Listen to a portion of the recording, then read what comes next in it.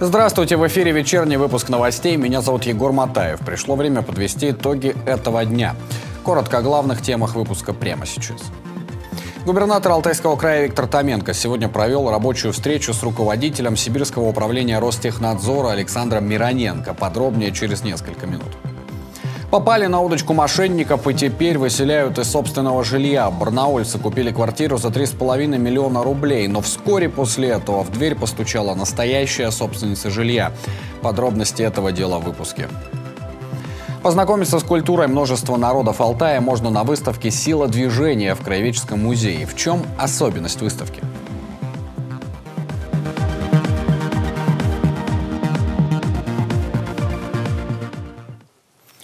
Губернатор Алтайского края Виктор Томенков сегодня провел рабочую встречу с руководителем Сибирского управления Ростехнадзора Александром Мироненко. Они обсудили вопросы взаимодействия правительства региона с Сибирским управлением Федеральной службы по экологическому, технологическому и атомному надзору. В частности, были рассмотрены задачи по подготовке Алтайского края к паводкоопасному периоду, в том числе проведение необходимых работ по бесхозяйным гидротехническим сооружениям.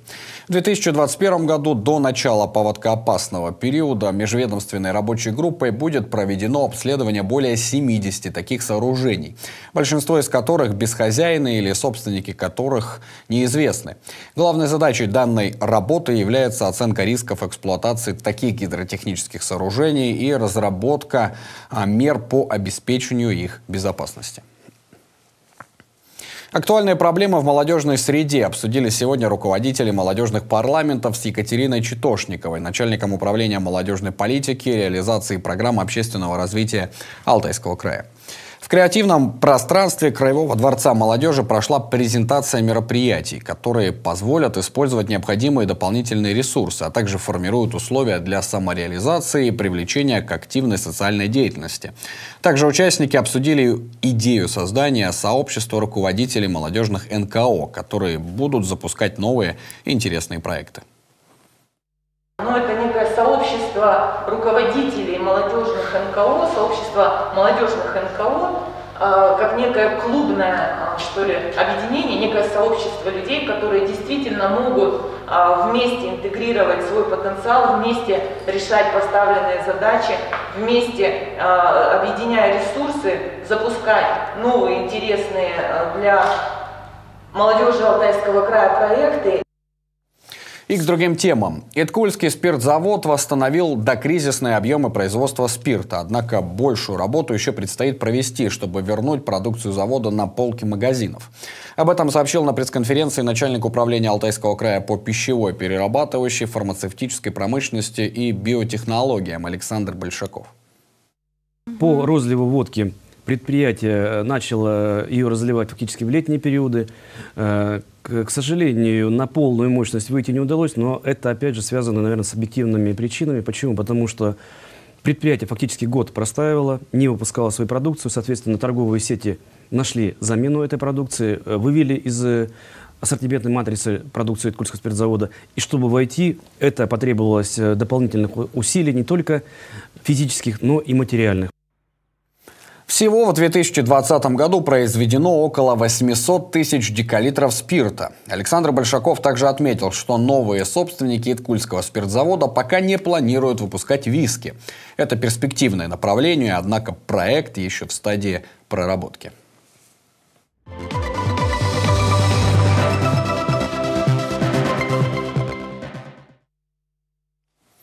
Попали на удочку мошенников, теперь выселяют из собственного жилья, рассказывают барнаульцы Софья и Егор Мистер. Они купили квартиру за 3,5 миллиона рублей, но вскоре после этого в дверь постучала настоящая собственница жилья. Тему продолжит Софья Житина. Барнаульцы Софья и Егор Мистер мечтали улучшить жилищные условия. Продали однокомнатную квартиру и с помощью родителей купили евро-двушку за 3,5 миллиона рублей. Но радость от покупки оказалась недолгой. Не успели получить из рекцентра документы, как в дверь постучала реальная собственница жилья, которая, как выяснилось, никому его не продавала. Говорит, что якобы она собственница данной квартиры, что спрашивает, вы квартирант или нет. Соответственно, мы не понимаем, что дальше происходит, потому что она пришла и ушла. То есть дальнейших действий каких-то определенных не было. Мы сначала подумали, что это какие-то мошеннические действия в нашу сторону. Хозяйка квартиры рассказала, сдавала жилье в аренду. Квартиранты подделали паспорт, а затем заявили в рекцентре, что якобы утеряли документы на квартиру. Восстановили их и по поддельному же паспорту продали квартиру риэлтору. Он тут же перепродал квартиру Софье и Егору. Как такое могло произойти? В рехцентре поясняют, не виноваты, не заметили подделку. Подлинность паспорта проверить специалисты э, только может визуально определить, держа в руках этот документ. Если э, хватит квалификации, то есть ну, степень подделки э, таких документов, наверное, высокая, соответственно, э, определить поддельный, неподдельный паспорт, это довольно-таки, наверное, проблематично и э, компетенция, наверное, соответствующих органов. Хозяйка квартиры подала на Софью и Егора в суд, посчитав, что они должны были заподозрить подвох. Полагает, цена была значительно ниже рыночной, да и въезжали уже в обставленную квартиру с мебелью и даже посудой. И главное, времени с предыдущей сделки прошло совсем мало. Представьте, люди покупают квартиру, которая только вот неделю как зарегистрировалась на человеке. Их ничего не смущает. Не смущает низкая рыночная стоимость этой квартиры. О том, что только человек зарегистрировал, не смущает. О том, что они не получили документы в Росреестре, а уже живут в этой квартире. Их тоже это не смущает. Так обычно делается при обычных сделках. Суд первой инстанции постановил квартиру вернуть реальной владелице. Марина и Егор намерены обжаловать решение. Шанс вернуть деньги есть. Суд должен признать их добросовестными покупателями. Тогда можно рассчитывать на компенсацию из государственного бюджета. Не все обстоятельства, которые стали известны в ходе рассмотрения дела, судом оценены достойно. И э, подготовили апелляционную жалобу, которая предстоит э, к рассмотрению в марте э, данного года.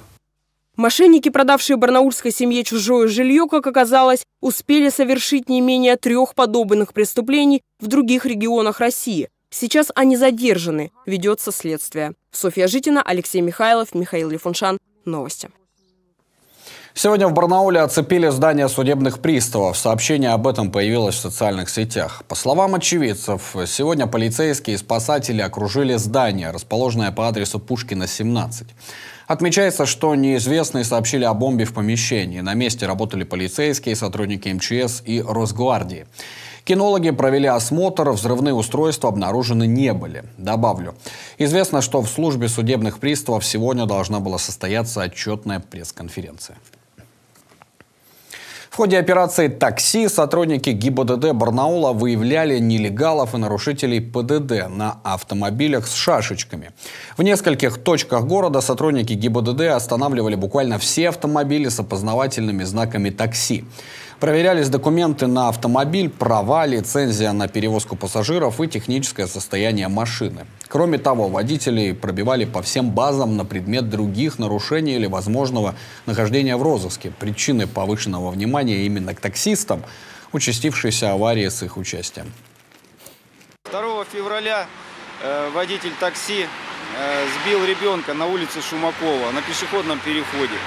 Ребенок получил травмы подобным последствиям часто приводят такие нарушения, как разговоры по телефону, нежелание пристегиваться ремнями безопасности, в том числе и со стороны пассажиров. Также многие таксисты грешат отсутствием специальных кресел для перевозки детей. И к другим темам. Поддержать детей, которые лежат в стационаре Краевого клинического центра охраны материнства и детства, решили волонтеры в рамках проекта «Творим добро». Студенты окрасили будни маленьких пациентов и помогли им на полтора часа забыть о процедурах. Подробности далее. Рисуют, читают книги, иногда бывают в игровой комнате. Так проходит обычный день малышей, которые лежат в стационаре отделения нефрологии Краевого клинического центра охраны материнства и детства. Большую часть дня ребята проводят на процедурах и редко собираются вместе. Но сегодня особенный день. Поднять настроение маленьким пациентам пришли волонтеры. Я лежу тут 7 лет, наверное, и каждый год я ложусь. Это в первый раз, мне очень понравилось. Мы начали делать вот этих куколок, и они очень красивые получаются. Благотворительный проект «Творим добро» должен помочь детям эмоционально разгрузиться, облегчить лечение. Многие пациенты стационара долго не видят своих родителей и нуждаются в поддержке. Волонтеры, большая часть из которых студенты Ранхикса, решили, что могут помочь. Часть их программы – создание куклы из клубка шерсти. В концепт данной акции был вложен символ.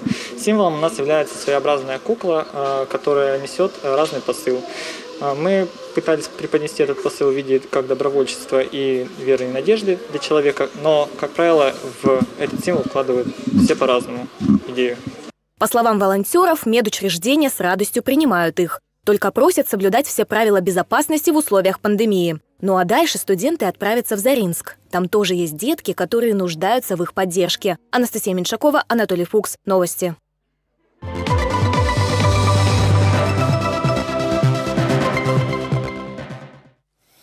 КВН «Алтай» закрывается. Единственная официальная лига клуба веселых и находчивых в Алтайском крае Республики Алтай. Именно они представляли Международный союз КВН и телевизионное объединение «Амик» на территории нашего края. Тему продолжит моя коллега Анна Москаленко.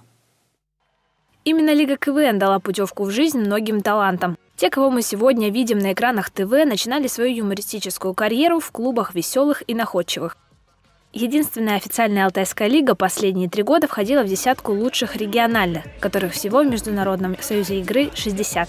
Я был в городе Томске, и так получилось, что перед моим концертом я сходил на игру местной лиги КВН. Я удивился, что финальная игра в полупустом зале, а на финал, чтобы попасть в лиги КВН Алтай, там билеты заранее раскупались. Там даже на полуфиналах-то не, не, не было пустого места.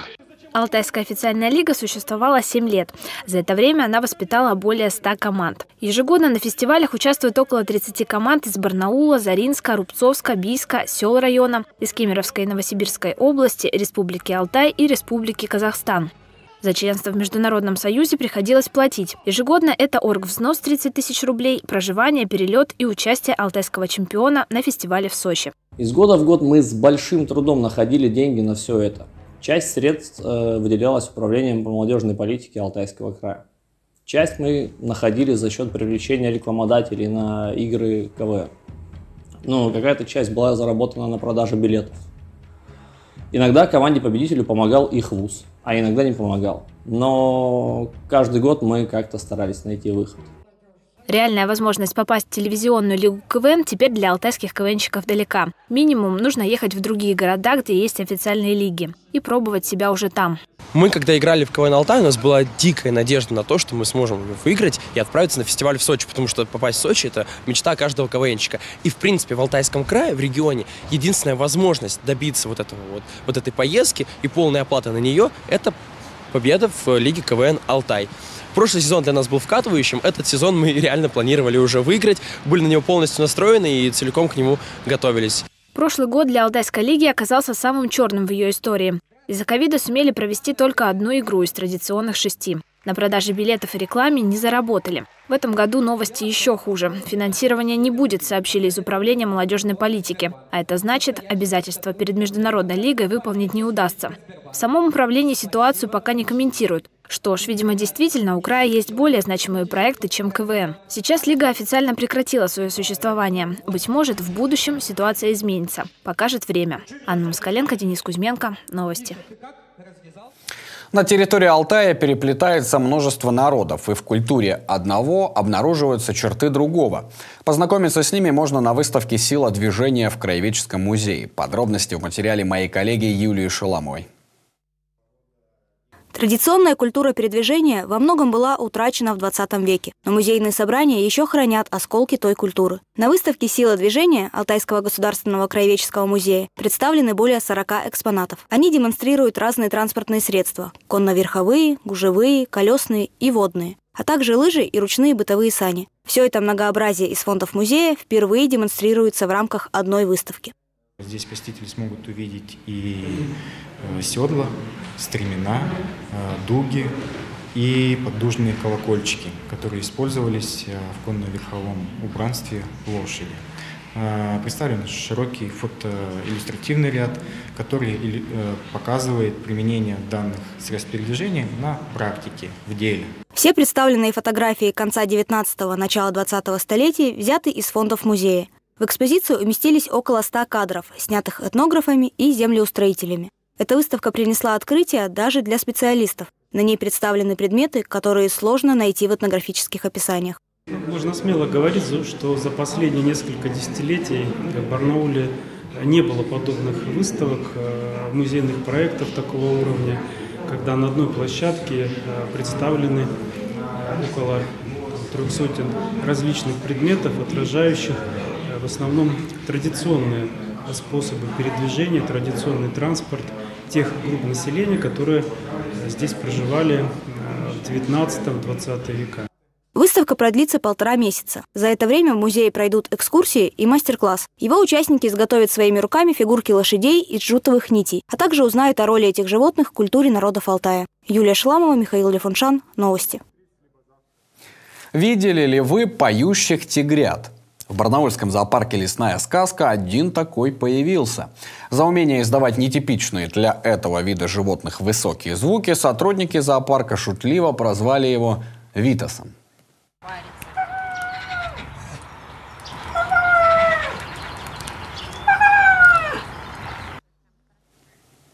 Этот тигренок сразу отличался от других – он забивался в угол и жалобно пищал, чтобы мать обратила на него внимание и покормила.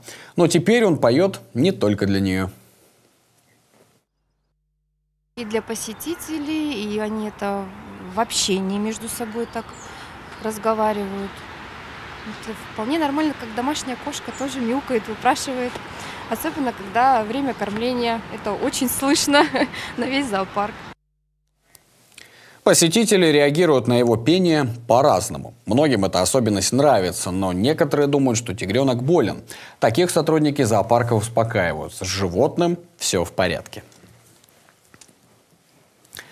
Это были все новости на сегодня. С вами был Егор Матаев. Напомню нашим телезрителям, что эти и другие новости вы всегда сможете найти на нашем сайте katuny24.ru и в группах телеканалов в социальных сетях. Я желаю вам отличного вечера. Увидимся в эфире завтра утром. До встречи.